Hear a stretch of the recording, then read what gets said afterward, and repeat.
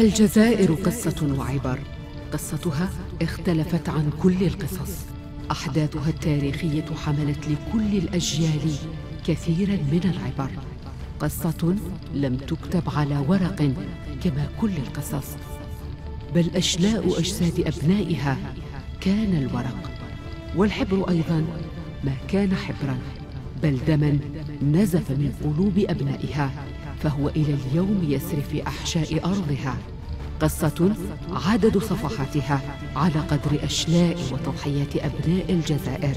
مليون ونصف مليون صفحة وصفحة حملت تضحيات ودروسا لمن يعتبر.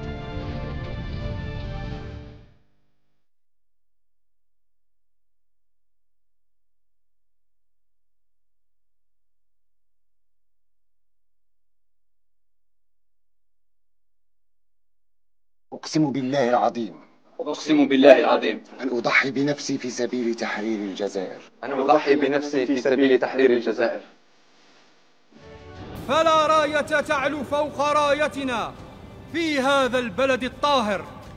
ندافع عنه بقلب شجاع ونفس نبية شامخة شموخ وطننا المفدى. هذا علمنا نضع أمانة في أعناقكم واحفظوا الأمانة. وصونوا الوديعة ودافعوا حتى آخر قطرة من دمائكم. يتقدم الاستعراض الجوي تشكيل لطائرات لتزيين سماء العاصمة بألوان الراية الوطنية رمز الهوية والاستقلال والانتماء لهذا الوطن المفدى وفاء منهم للعلم الوطني رمز الأمة ووحدة الشعب وفاء لتضحيات شهدائنا الأبرار. راية وطننا الغالي الذي نهض من صبر النساء وصلابة الرجال عبر الأجيال تلو الأجيال ووصل في حلة مخضرة مبيضة حمراء بهيجة الألوان. فلا راية تعلو فوق رايتنا في هذا البلد الطاهر. ندافع عنه بقلب شجاع ونفس نبية. شامخة شموخ وطننا المفدى. راية عالية خفاقة هي رمز لهنا وأننا كنا ولا زلنا وما زلنا وطنا نصنع مجدنا. أرضنا هي أرضنا سماؤها تظلنا أبيض سناؤها وخضرة تسرنا متصلة بنجمة حمراء ساطعة وهلال كريم. يصونها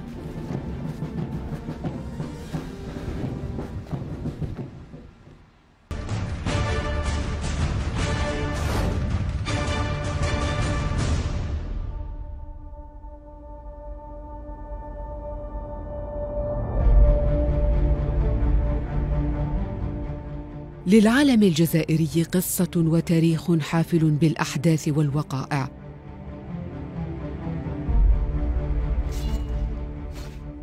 تذر الشواهد التاريخية أن الجزائر عرفت الراية منذ الفترة النوميدية على يد الملك يوغرطا وتطورت عبر التاريخ إلى غاية استرجاع السيادة الوطنية العام 62 900 وألف إلى أن استقرت على الشكل الحالي.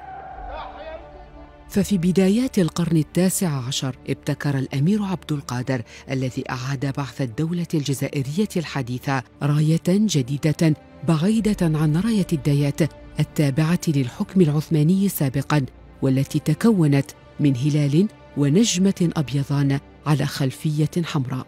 وكان ذلك بين القرنين السادس عشر والتاسع عشر. عمل الأمير عبد القادر على اعتماد اللونين الموجودين في العالم الجزائري الآن وهما الأبيض والأخضر تتوسطهما يد مبسوطة ومعناها اليد التي تقسم على حفظ الأرض وأيضا ترمز للأركان الخمسة للإسلام وحولها كتبت الآية القرآنية نصر من الله وفتح قريب. وهي راية ترمز للاستقلال السياسي عن الدولة العثمانية بعد أفول الحكم العثماني في الجزائر والإعلان عن إعادة بعث الدولة الجزائرية الحديثة بأنظمتها وقوانينها والتي ستتولى الدفاع والمقاومة والجهاد ضد المستعمر الفرنسي. بعدها أجبر المستعمر الفرنسي الأهالي الجزائرية على استخدام العلم الفرنسي إلى غاية بداية الثلاثينيات ومع محاولة فرض فرنسا رايتها في كل شبر من التراب الجزائري كان لابد من تصميم راية جزائرية تمهد لعهد جديد من الكفاح الجزائري حيث بدأ اعتماد علم أسسه حزب نجم شمال إفريقيا ليتم بعدها استكمال أحد أهم رموز الدولة الجزائرية وتقديمه في حلته النهائية في الخامس من أوت العام 1934 حينها شعر الجزائريون بقرب بوادر الاستقلال. وقد كان الظهور الرسمي للراية الجزائرية ولأول مرة في السابع عشر جويليا من العام 1937 وتحديدا في حي بلكور بالعاصمة على إثر مظاهرات شارك فيها حزب الشعب الجزائري ورافقت حينها الراية الجديدة هتافات تدعو للاستقلال. Ce matin, pour la première fois, sont apparus leurs drapeaux, vert et blanc avec le croissant et l'étoile. Des milliers de drapeaux. Ils ont dû les préparer pendant la nuit. Il est difficile de les appeler des drapeaux. Ce sont des lambeaux de drap, des chemises déchirées, des chiffons. Mais ce sont tout de même des drapeaux.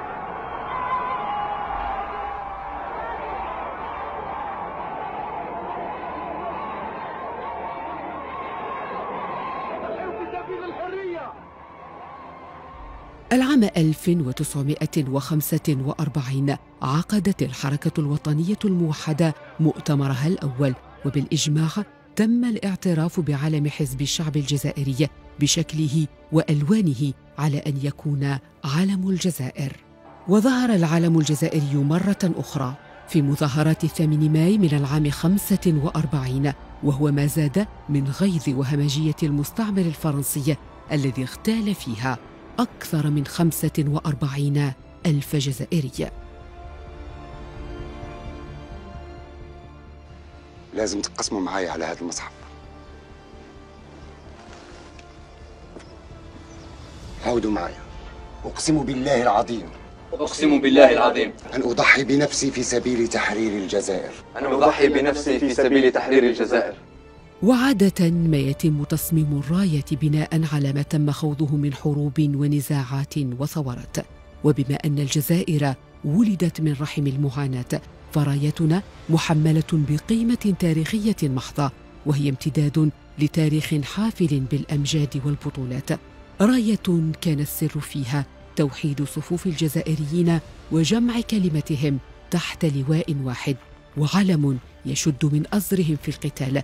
ويعلن بحق عن عودة الدولة القوية للدولة الجزائرية دولة مستقلة كاملة السيادة غير منقوصة. ولذلك صارت الألوان الثلاثة في الراية الجزائرية منذ القدم مجتمعة أو منفردة لتستقر موحدة في علم الجمهورية الجزائرية الديمقراطية الشعبية.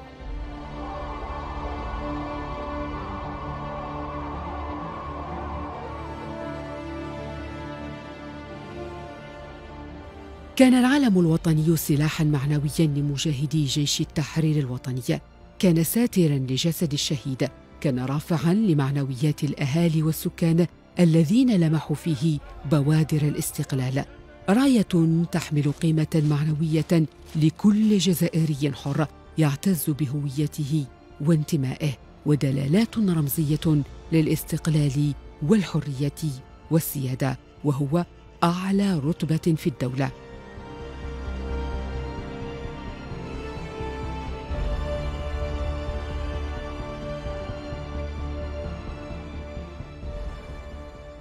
فاللون الأبيض يرمز للسلام والمحبة والخير. الأخضر يرمز للأمل والتقدم ولغد أفضل. أما اللون الأحمر فهو دماء الشهداء الأبرار التي أريقت على أرضنا الطاهرة. متصلين كلهم بنجمة وهلال يرمزان للإسلام بصفته الدين الرسمي للدولة الجزائرية الديمقراطية الشعبية.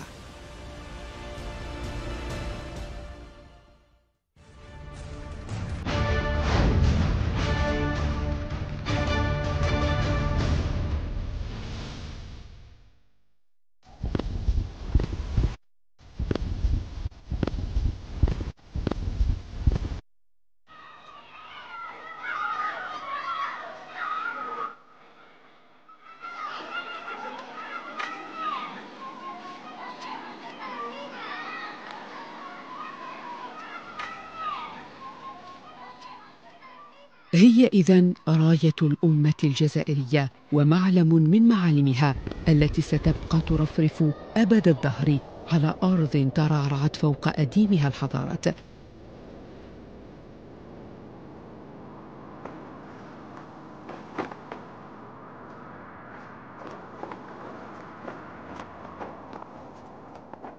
علم شامخ سامق باسق وليد معارك طاحنة وضارية فهو جزء من كيان الأمة الجزائرية وفي معالمه وألوانه. روح الانتماء لوطن تبعثرت فوق كل جزء من ترابه أشلاء شهداء.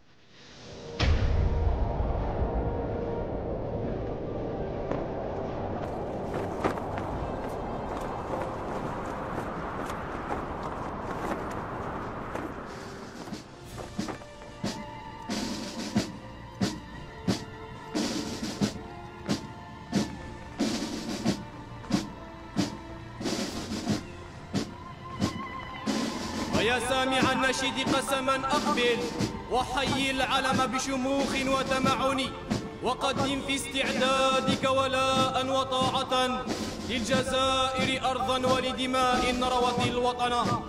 وانشد وانشد بعزة وفخر نشيد نصر. أرهب به زائر السجون حماة السجينا وأضحى ترديده ميثاق عزم. شق به الأحرار طريق اليقين. عزما عزما وعهدا أن تحيا الجزائر.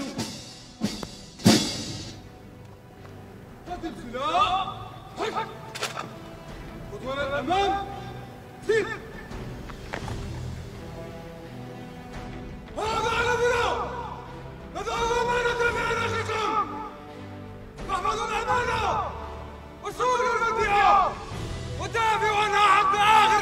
من دمائكم. نحن أهل للوديعة. صدورنا دروع منيعة بالدم والروح نفديها. وبالعلم والسلاح نحميها. جنب سلاح. هد خطوة للأمام سر. هديان سر. عليكم منا سلام الله ما سطعت شمس الضحى وأنارت سائر الحدب. عليكم منا سلام الله من همرت بالغيث مزن وما تسقيه من عشب. قطوف قطوف من زهور الياسمين نقدمها لكل الحاضرين. وفيض وفيض من تحيتنا إليكم تقر به عيون الناظرين. أتيناكم لنهديكم أزاهيرا وريحانا وأريجا يزيد من عبق القلب سلوانا. فسلام عليك يا وطني وألف زغرودة وصيحة تردد. تحيا الجزائر حرة تحيا الجزائر حرة